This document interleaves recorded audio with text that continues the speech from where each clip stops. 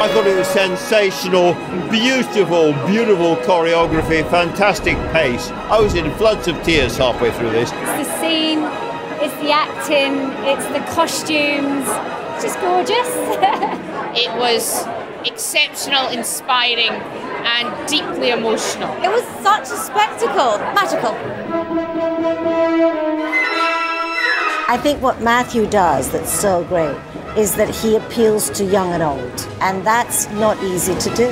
Matthew strikes a chord with everybody, and you don't necessarily have to be a ballet aficionado for this to really hit you. Anybody will get it.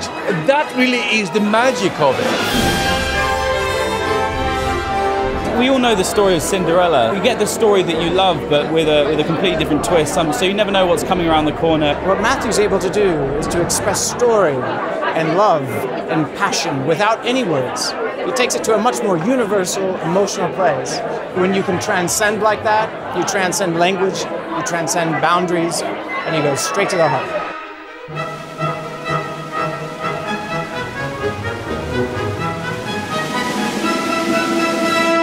Just so successful. It's really, really memorable. It was really romantic, moving, and explosive as well.